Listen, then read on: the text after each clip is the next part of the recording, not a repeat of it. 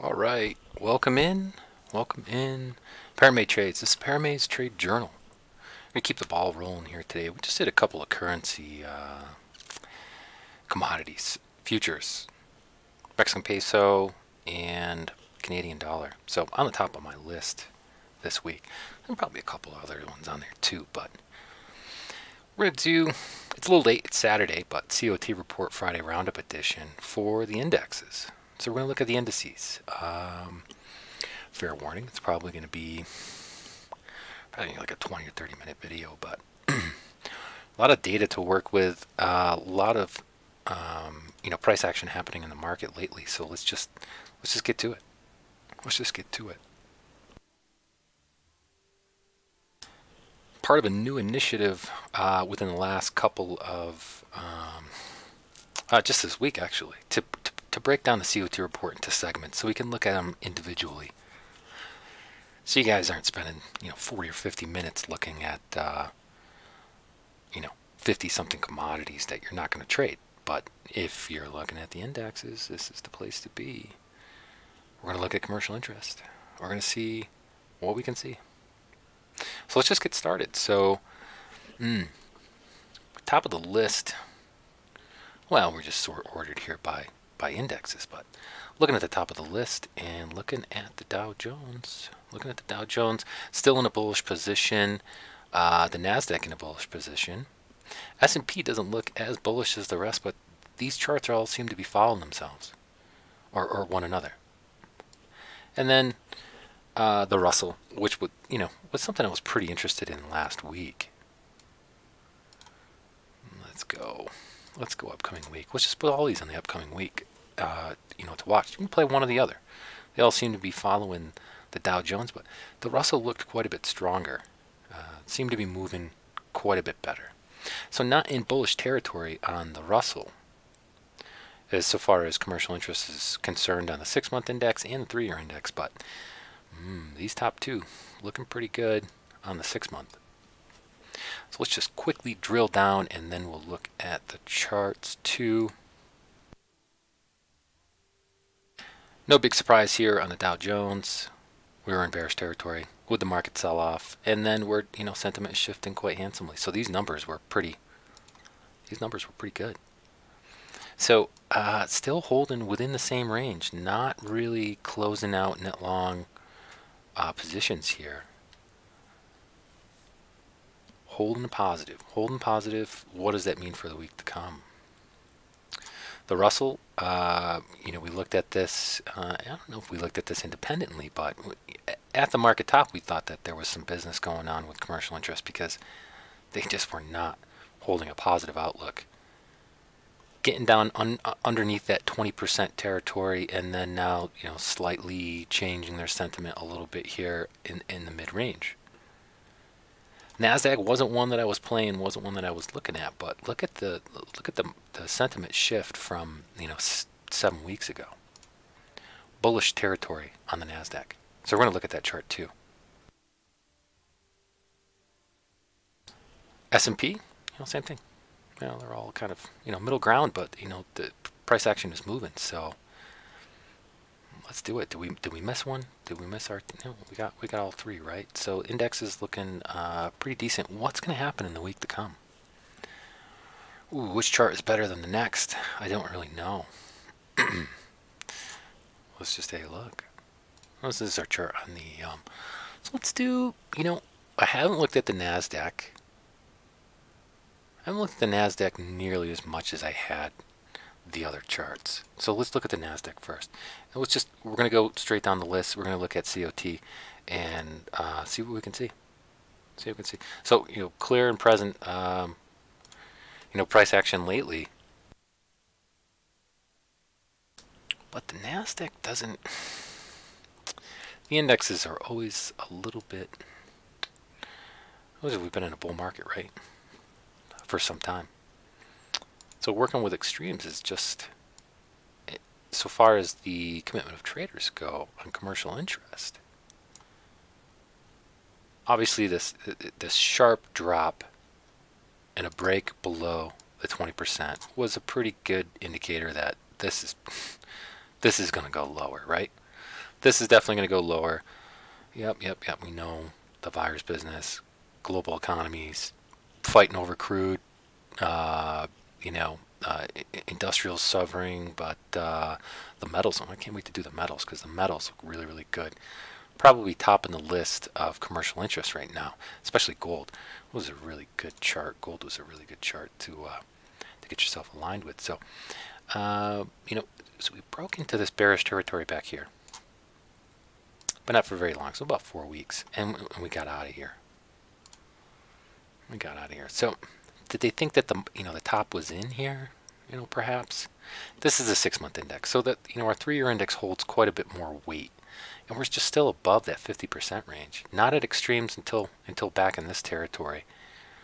And it just how well does commercial interest? I mean, I really feel like we, in terms of the indexes, you really have to look back further, and we need more data uh, in this bull run to make sense of this. But we got to work with what we got on the one-year chart because this is the data that we have. So this you know sentiment switches so drastically sometimes with these guys. And this last leg, this last push up, looked like you know the six-month index had a little bit of promise, and then even here on the six-month index, so it was just a lot of confusion to make sense out of what commercial interest is doing with um, mm, finding positions. Hmm. Well, we do like to see the, this, this combination of things, though, at least. So if we, you know, if this looks a little bit confusing in terms of commercial interest, you know, we had WPR in the oversold range, no big surprise there. Mm, we had open interest relatively low. This bodes well for commercial interest, and this bodes well when when th they're starting to reduce their their net short positions and and starting to get out of there. So this, I mean, this looked this looked a little bit more promising on the six month index, but I mean, if this was at extremes, then you've got a real recipe for positive swing to the upside. And it almost kind of feels like it looks like they were late late to the party, but closing out the net short positions, getting back above the 20%. So we're no longer at extremes and now we're brushing up against the um, you know that that 80% mark where they're where they're still bullish. But do you want to be a buyer up in here? WPR cooking as hard as it is, or as high as, as it is. I really like market sentiment this low. I really like market sentiment as low as it is. And I hope we got the numbers right. I really do. Well, when's the last time we looked at the you know the, the Nasdaq numbers to double check and make sure we had it right? I'm pretty sure we do. Hmm. But you know, Com's still holding in the positive territory, and that it, typically bodes pretty well. Uh, and the three-year index getting up there too. So are we at a market bottom here? I mean, it, this looks like a nice swing out of here. And the chart is still really strong. But do we want to be a buyer up in this range at this moment in time? Let's say we probably wait for, I was looking for a short setup on the Russell just because of where it was in the channel. But let's just take a look at the NASDAQ and pull up our two chart and take a peek. It looks like I did do a little bit of work on this previously. So really violent uh, downtrend channel. Uh, and that's what we like to see. That's what we like to see is uh, better buying opportunities on the 1.25 coefficient and below the 1.0 coefficient. So found really good support here. This may have been a pretty good indicator that this was just selling off just too much. And there's so much whip going on here. Where was the pivot to work with?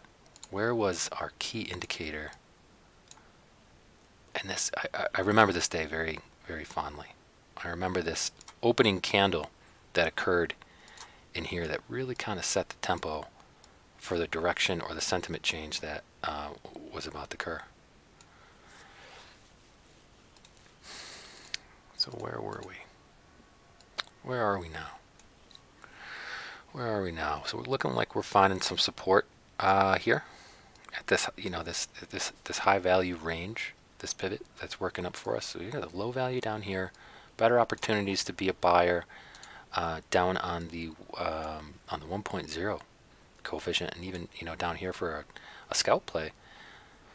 I mean, all these charts look the same. So you know, we're gonna we're gonna we're gonna do the Nasdaq and we're gonna do the Russell because the Nasdaq, uh, the uh, the Dow Jones, and the S&P they all look almost identical. So let me show you this chart, and you're gonna look at the other ones and you know say, hey, this you know this looks pretty darn similar.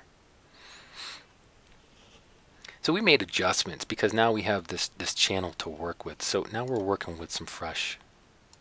Now we're working with some fresh pivots. So where did these ones come from? Let's just look at the uptrend channel to see, you know, what's going on. Let's use blue. So obviously we've got, uh, you know, our first, first point of contact on the zero coefficient of the uptrend channel.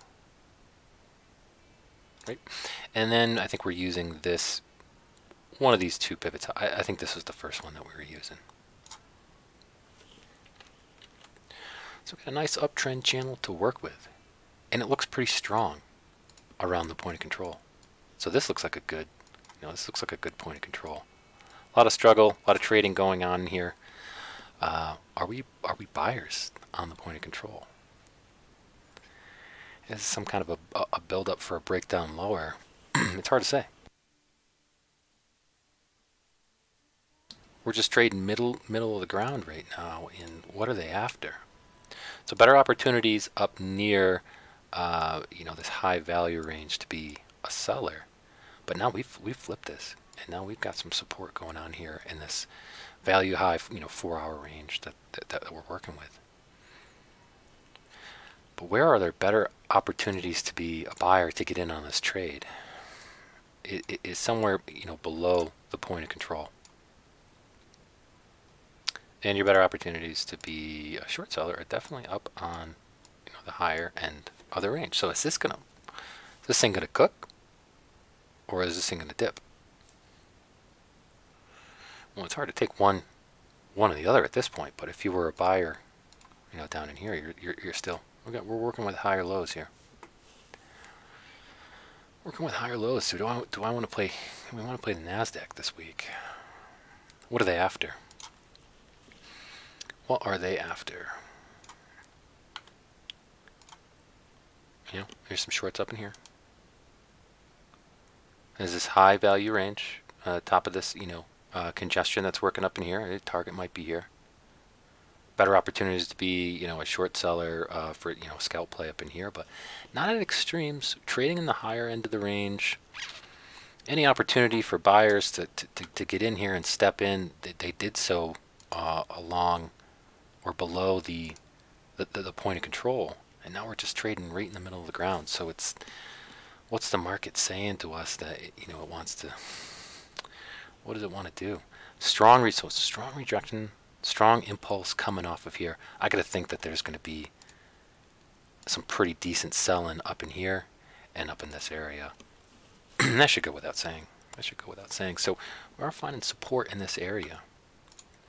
This is a you know lot of work going on in here? What's our market memory telling us? Uh, you know, 1.0 coefficient, struggling in this area, finding rejection market memory, you know, right in that area again. It looks like selling is, mm, it's pretty good. Pretty decent amount of selling on in this area. They retool, buyers retool, find support on this downtrend negative 2.5 coefficient and this is you know obviously the place to be a buyer so this is why we adjusted our uptrend channel uh, to use this area so you know big big nice you know nice area of congestion working in here. One would think that if we do retrace that this is going to be this is going to be the area I think that needs to be tested. This 7629 and this, this is a way better opportunity I think to be a buyer if you're looking, but middle ground, it's uh, I have a hard time being a buyer here. I'm looking at some other charts and I'm thinking that they're a little bit better to trade right now until a better setup comes along. But boy, if it comes down into this range, I like this confluence uh, on a set, on a seven six two nine as being a good, good opportunity. But I would be a little bit concerned that if we break this zero coefficient and we find rejection here, this you know this could be some trouble. This could be some trouble for the indexes. But here's here, here's some targets, and that's a nice round number too, right? 84, about the 8400 mark. So we target this uh, this this this pivot high, and this is where all the shooting started. So there is gonna be there's gonna be some work going on in here.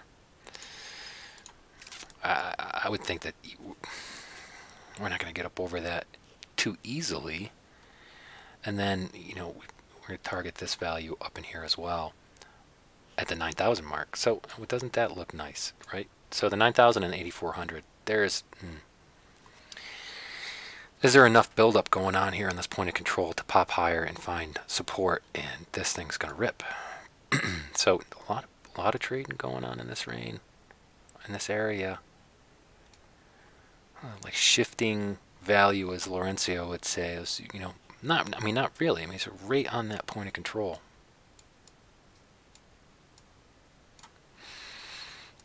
Good business going on in here. A lot of good business. A lot of trading going on in the upper half uh, between the you know the median line and the uh, the 1.0. Not at extremes just yet, and I would be really cautious up here. If this thing decides to spike and, and, and get up here that quickly, that there is going to be some strong rejection. Mm-hmm. Mm. Yep. Mm. Tough chart, a lot of whip going on in here. A lot of whip, but find support, find support. Have we bottomed out? We haven't retested these lows. We may not. We may just we just cook out of here, but I like this. I like this, you know, this this build up going on in this area.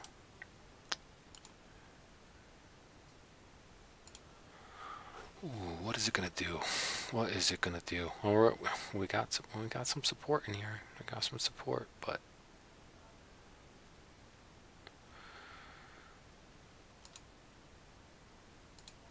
did we get like a nice ascending triangle look for a break higher? We gotta watch the market. Let's annihilate this, and then just take. I mean, that looks like a nice ascending trial on that triangle on that on that point of control. This could break higher. This really certainly could. And then so now we're working in this small range. We've got the small range to work with uh, right in here. We're working. We're working. We're working right in here. Pivot high, pivot low. Here's the low value of the range. It looks like a double, some double bottom action. There's some liquidity going on in this area. If we break, you know, we just barely break the high just barely break that. So it did, you know, we did kind of take take the high. Will it go a little bit, you know, higher? And I like this ascending triangle look. So your breakout trader, this thing starts to cook tomorrow, or, or yeah, well, tomorrow I wouldn't be surprised, but generally speaking, I mean, do, you, do, the patterns always work out in the way that you know you think an ascending triangle is probably going to break higher? I mean, it might, but where is the confluence, and then where is where are we going to get some uh, some, resistance some resistance up in here? Ooh, markets are looking tough, right? God, it would have been nice to be a buyer right down here and just hold for the last two or three weeks. Reestablish your your buying down in here. But if you're an intraday trader, Swing trader. How are you playing this? I'm, I'm playing this level.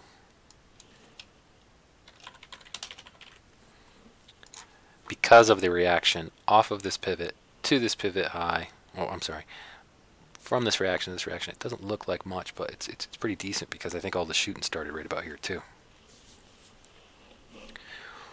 And so there's going to be, you know, kind of some aggressive selling that happens in there trying to break back up into that range. It looks it looks a lot like accumulation, folks.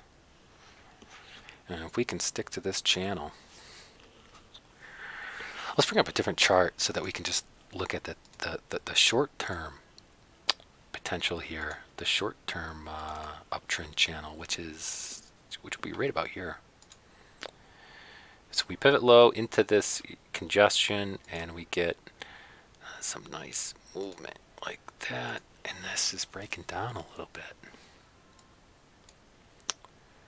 This is breaking down a little bit so far as uh, uptrend, you know, so this is our intermediate, I would say, uptrend channel. This is not our larger picture, but, you know, good time to be a seller over the uh, 1.0 coefficient, and then we break down the point control, and this is starting to look weaker. So, mm, you know, just about a double top action, and we just pierce it just a little bit, but this, this, this I may stand corrected here, and this may come down a little bit. It's a bit high. Just tag it. And now where is the, now where's our target? Which, which would probably be down here. Hmm.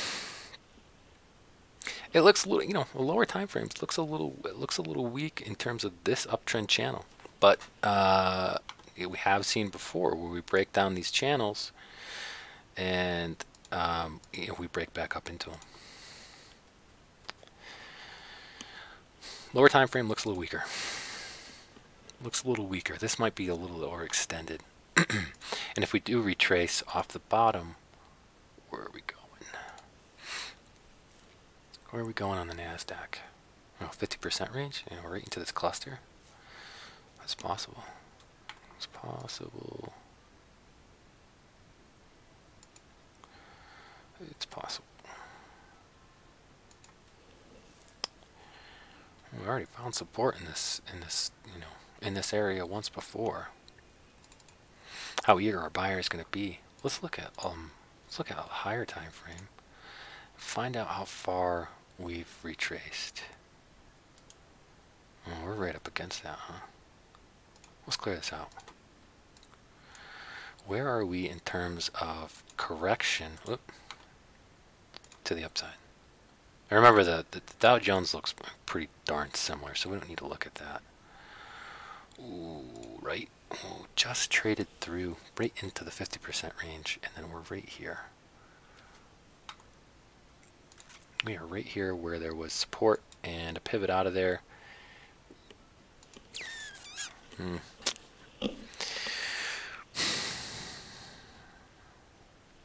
Hmm. Hmm.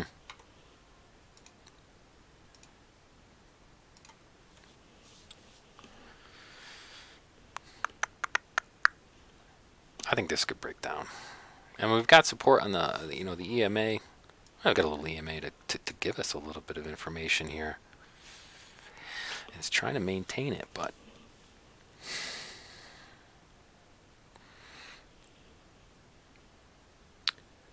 not trying to guess here, but I, I, I think this I think this can retrace a little bit. I think the indexes can come down a little bit this this week.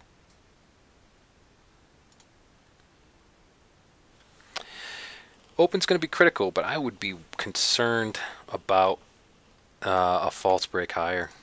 So we are into this 50% range, this 50% retrace range, oh, 618 in the 60% in the 618 range. I don't, know, I don't know how helpful that is, but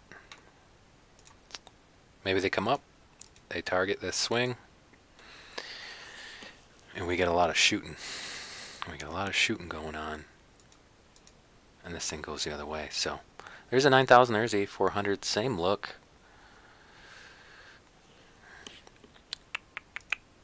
Boy, boy, 8500, 8400, 8500. I got, I got to think that there will be some, some selling pressure, unless it, the market is really convinced that this thing is just bottomed out and, and we're going to go the other way.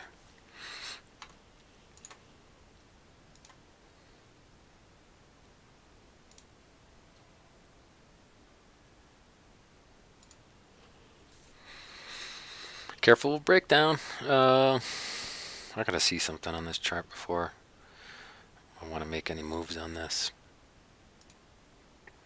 Because I'm not I'm, I'm not a buyer on the point of control, but it just looks it looks appealing on that point of control. It looks pretty good. We're trading on the higher end of the range, or on the higher end of the uh, you know the point of control.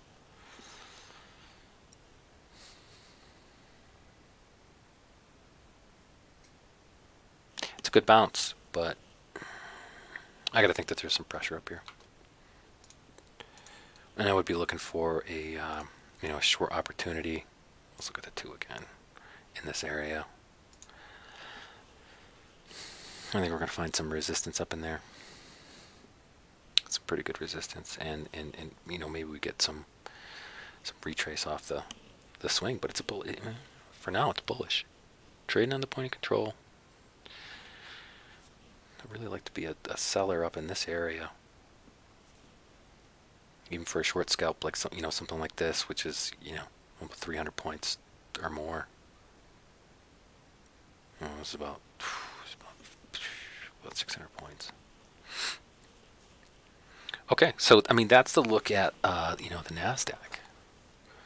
Commercial interest I mean not as bullish right on uh, on the three not well yeah yeah yeah we're up there we're up there Let's take a quick look at the Russell and then uh, let's get out of here. So this, I mean, this looks so much better of a chart. This looks aggressive. I mean, this just looks really good. And they,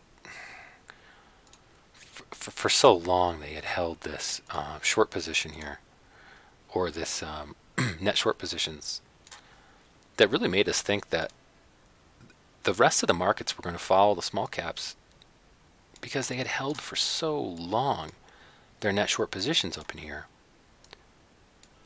And it's almost like they were they were already hip to this. They were already wise to this. WPR in the in, in the overbought territory up in here and holding holding bearish. Holding bearish. Time to get out. Open interest is relatively high. Market sentiment's blazing. And we just but now what we got is market sentiment in the last year at the lowest it's been in April here and now we're getting a little bit of, of movement. Whoop. Ah, come on. And now we're getting quite a bit of, of market sentiment shift here by commercial interest. We're really positive back here too on the three-year index. Up in this territory, just not, just not working. Price travels up, less optimistic. And you can see the correlation going on here. Price action to the downside, it was just way too appealing at a thousand.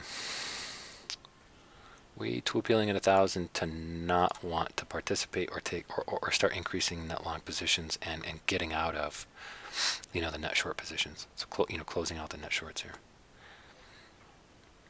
Bullish, open interest relatively low, WPR oversold. Boy, Hopefully, I mean, hopefully you guys got in on this. I like that W look I, I always have. I wish it was, um, I wish it was a little bit better, but it wasn't. So, uh, Russell looking really good, looking really good. Seems to be outperforming, and we're just we're above this, um, you know, high value range from off the bottom. Value high range here. So, you know, where's it going? And there's not much going on to the left of this chart where we could say, yeah, you know, there's where did, where did the shooting start? Well, a lot of the shooting started here, right? On that limit down day. So can we come up and tag this area? And it looks pretty good.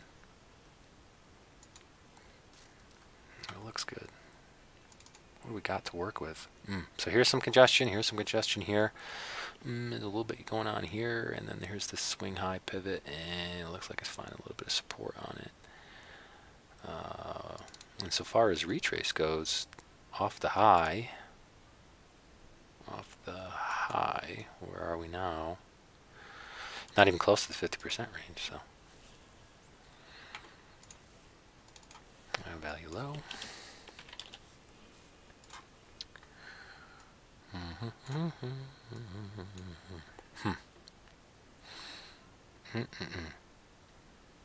I gotta think that there's to be some resistance up in here at least. a little bit. And we're, we're, we're ripping pretty hard, so it doesn't mean that it can't. I just think can't take off, but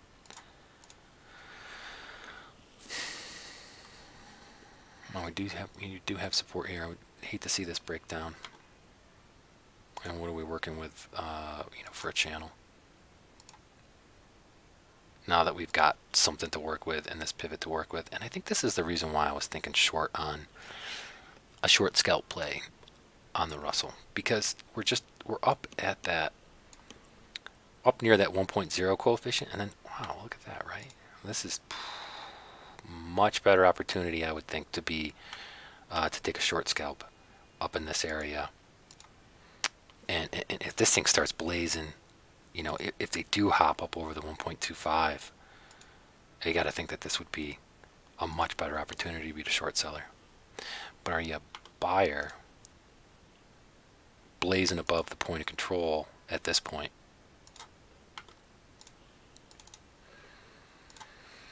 Doesn't mean it can't go. Doesn't mean you can't go, but I'd like to see some extremes, and I'm I'm, I'm thinking short. I'm thinking about a short scalp play up against this you know area. Looks like there would possibly be some resistance and a little bit of retrace, and I'm I'm I'm thinking like a a buying opportunity on the point of control for a little bit of a bounce play, maybe a little bit of scalp. And comes down here a little bit lower. And you definitely got to start thinking about being a buyer down in this area. I'm just going to start breaking down. This is a huge channel to work with, so huge channel to work with. Com's a, quite a bit more optimistic on these indexes right now, uh, but better on the in, you know so much better, so much better.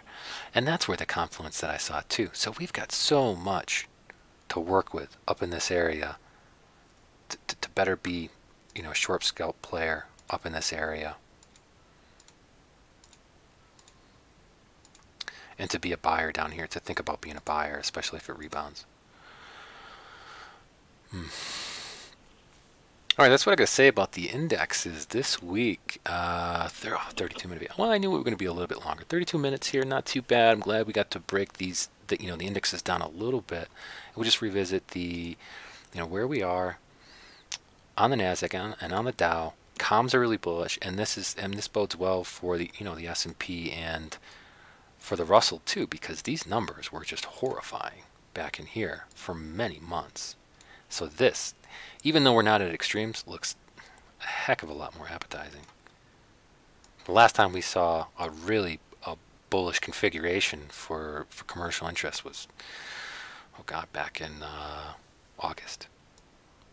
So this is looking a little bit better. Still hold, you know, holding last week's position into this week. Mm, it looks pretty good. It looks pretty good. Positive numbers, uh, on you know, on the net on net longs. Uh, we haven't seen that in, in some time. All right. Um, so we've got a Discord channel, uh, chat community. If you guys want to come in and shoot the breeze, talk charts, talk trade, talk COT report, um, chime in, give us your opinion. Thanks for hitting the subscribe button. Uh, that's really helpful. We really like that, uh, and leaving comments too. We really enjoy that. That's that's super. So uh, thanks for stopping in the channel. I hope you find yourself on the profitable side of the trade. We'll see you again on the next video.